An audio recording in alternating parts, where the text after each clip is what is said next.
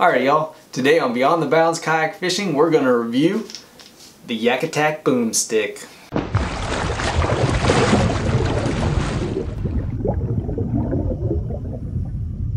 Alright y'all, Lou here with Beyond the Bounds Kayak Fishing. This YouTube channel is geared towards bass fishing, kayaking, and honest unsponsored gear reviews much like the one you're about to watch now.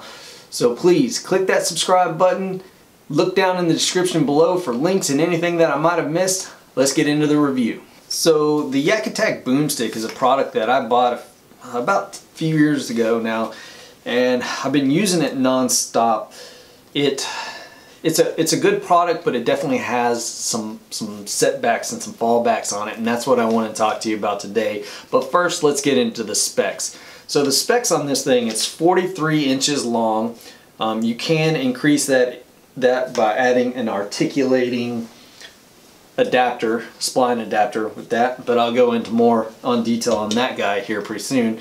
It comes at the top with a one inch ball. As you see it configured now is how I normally run it with my VIO going to the top there, a little socket in between, and then the tough claw holding my VIO. So depending on what type of camera you're running, you're gonna need to mount that and you know, there are different attachments. Of course, there's a GoPro attachment that's a one inch ball. There's also a quarter inch screw ball. And the, the quarter inch screw ball runs about 10 bucks. Um, a few of the other things that you might consider getting but aren't um, aren't needed necessarily were one the adapter uh, this guy again pick him back up this adapter articulating adapter this is going to allow you to get those shots that swing out and on um, it connects really easily. That's actually a, a pro in that. See how quick and easy and secure that is? And to get it out you just again push. Very similar to the Railblaza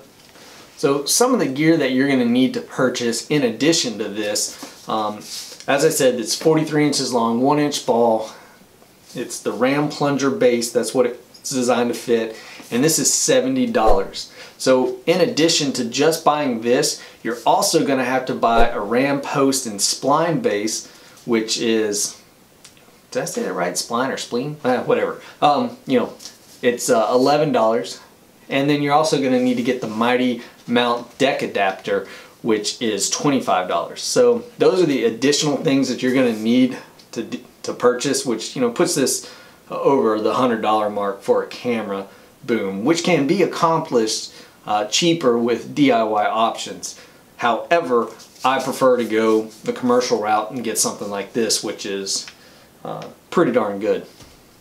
Okay, so some of the additional attachments that you can get for this are um, the ram socket, which you're going to need to connect from the one inch ball to another one inch ball that you're probably going to use to either mount a quarter inch screw ball, which is about a $10 attachment, or the GoPro attachment, which is also a one inch ball.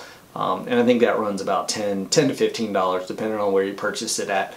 Um, last but not least, you can buy the articulating articulating arm that will allow you to rotate this and get different different views, different angles uh, from behind the boat and it rotates pretty well, attaches really easily.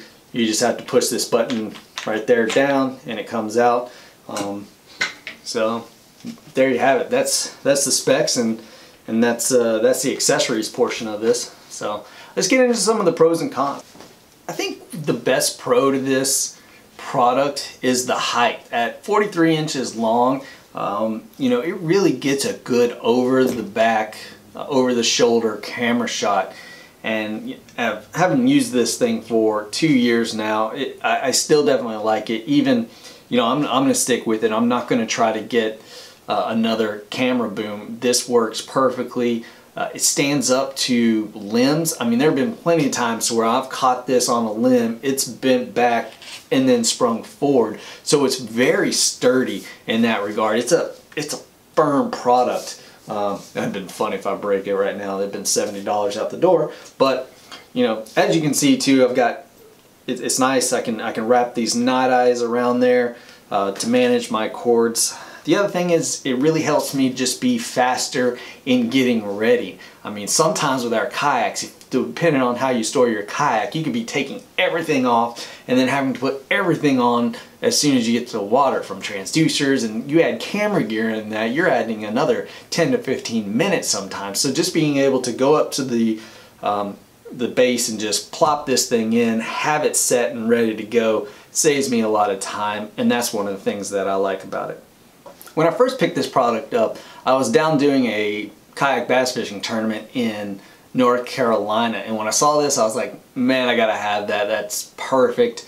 Um, I actually was had a pretty good setup that was very stable which was the immediate con that I noticed to this one. Now the camera that I've been using is a VIO POV and the image stabilization of this camera isn't the greatest. So you know when this that's the main problem with this boomstick is that it really does wobble and it wobbles significantly sometimes. So if you don't have good image stabilization like what you have with the GoPro 5s, um, which even with the GoPro 5s, the amount of wobbling that this thing does is, is just way too much. So how to combat that is I, I took a you know six inch socket, ran it to like a barbell extender, another extender, extender, you know, ran it to another socket that's about a two inch socket and then to another tough grip. And what I use this tough grip for is it's connected to something very solid like my crates, um, my, my different kayak crates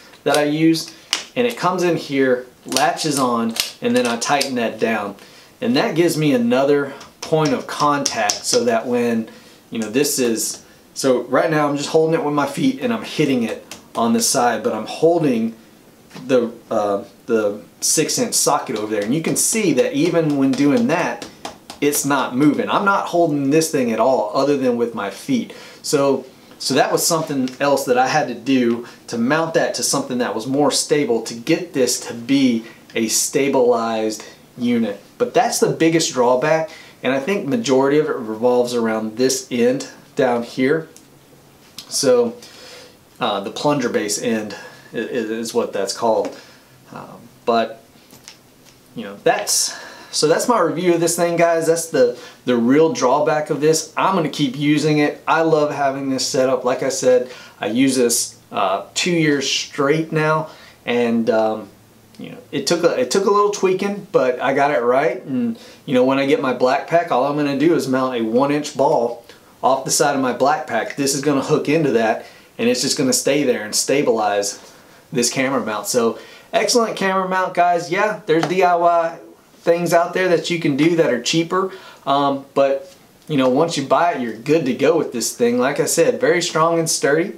And uh, you know, I would recommend it in this configuration. Would not recommend it by itself though. So hope you enjoyed this video. As always, please comment, like, share, subscribe. Y'all have a good one.